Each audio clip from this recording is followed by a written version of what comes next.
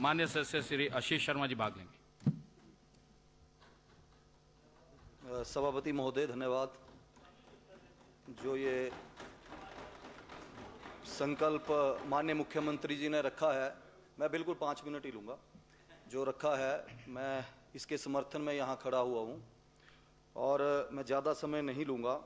मैं सिर्फ़ एक दो मुद्दों के ऊपर ही ध्यान जो है माननीय मुख्यमंत्री जी का विशेष रूप में चाहूँगा कि वो रखें कि जिस तरह से ये आपदा हुई है और कई लोग बेघर भी हुए हैं, कईयों के मकान चले गए हैं और कई लोग लेकिन ऐसे भी हैं जो लैंडलेस हैं, जिनके पास ज़मीन नहीं है, पहले से भी नहीं है। मेरे कहने का अभिप्राय ये है कि जब डीसी के पास जाते हैं लोग कि हम लैंडलेस हैं और अप्लाई करते हैं कि हमें भूमि दी जाए तो डीसी जो है, वो पटवारी से रिपोर्ट मांगते हैं कि इसके, ये लैंडलेस है कि नहीं है। पटवारी रिपोर्ट देते हैं कि अगर लैंडलेस है तो उसको ज़मीन दे दी जाए। लेकिन इसमें एक, जो विशेष रूप से मैं आपको बताऊँ कि जो जो भी अप्लाई करता है परिवार, उसकी धर्म पत्नी की भी जो भूमि है, उसके जो परिवार की, उसके फादर की, उसको भी देखा जाता है कि उसके फादर के पास वो जगह है कि नहीं है।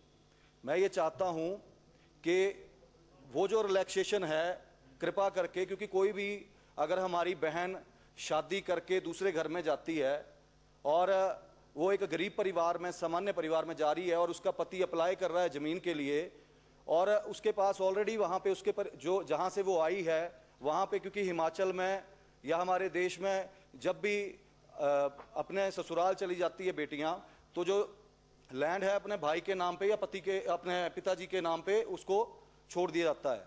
तो कई दफ़ा जो ये कंडीशन की वजह से कई ऐसे परिवार हैं जिनका वो जो लैंड है वो उनको नहीं मिल पा रही है। तो मेरी विनती है कि इस कंडीशन में रिलैक्सेशन दी जाए कि जो इंसान अप्लाई कर रहा है भूमि के लिए, चार मरले के लिए या छः मरले के लिए तो उसको जो है वो भूमि दी जाए, ना कि उसके पत्नी के परिवार की भूमि भी देखी जाए कि उसके पास है कि नहीं है। क्योंकि इससे कई गरीब परिवार ऐसे हैं जिनको वो जगह नहीं मिल पा रही है। और ये क्योंकि आपदा का समय है, और जैसे कि माननीय मुख्यमंत्री जी लगातार क्षेत्र में ज़ीरो ग्राउंड पे दौरा किया, हमीरपुर विधानसभा क्षेत्र में हालाँकि उतना नुकसान नहीं हुआ है, लेकिन अपने ज़िले में दो विधानसभा क्षेत्रों में माननीय मुख्यमंत्री जी ने दौरा किया। बड़सर में, सुजानपुर में काफ़ी नुकसान हुआ, वहाँ पे भी ज़ीरो ग्राउंड पे गए, और जो भी अधिकारियों को आदेश थे इन्होंने दिए और वहाँ पे हर संभव प्रयास किया कि लोगों को जो भी मुहैया कराई जाए मदद वो मिले।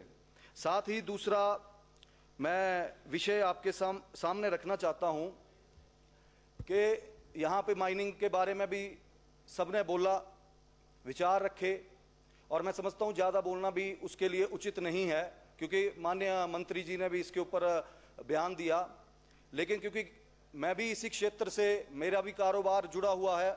मैंने ऑलरेडी ये डिक्लेयर की हुई हैं चीज़ें, कोई ऐसा नहीं है कि ये छुपाने वाली चीज़ है, क्योंकि जब आप इस यहाँ पे पहुँचते हैं तो मुझे लगता है कि अगर हमीरपुर की जनता ने चुना है तो हमीरपुर की जनता को पता है कि इसका क्या कारोबार है। तो मुझे कोई छुपाने की ज़रूरत नहीं है।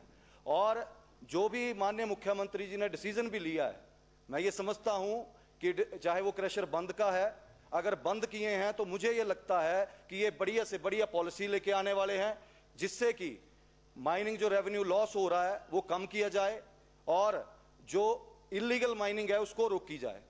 मैं ये समझता हूँ कि लोगों में माइनिंग के प्रति जो है, वो बिल्कुल गलत धारणा भी एक फैल गई है कि माइनिंग है माइनिंग माफिया हैं।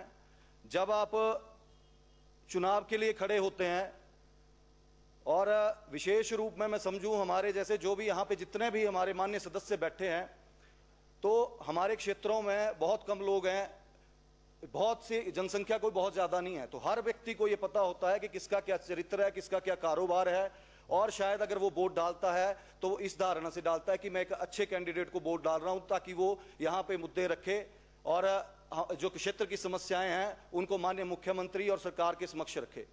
तो एक तो ये जो धारणा माइनिंग के प्रति चली है, इस ये नहीं होनी चाहिए। और जो भी पॉलिसी लानी, लाई जाएगी, मैं समझता हूँ, माननीय मुख्यमंत्री जी वीर भूमि हमीरपुर से हैं और ये सक्षम हैं स्ट्रिक्ट डिसीज़न लेने के लिए।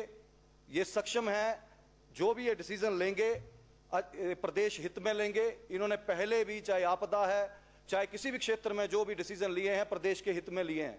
और मैं समझता हूँ, इस इस इस बार भी जो जो भी चाहे वो आपदा का क्षेत्र अगर आप देखेंगे, दिन रात सरकार जुटी हुई है। माननीय मंत्री हमारे कर्नल धनीराम शांडिल जी भी हमीरपुर आए, मेरे विधानसभा क्षेत्र में गए और इन्होंने भी जाके वहाँ पे लोगों को राहत पहुँचाई।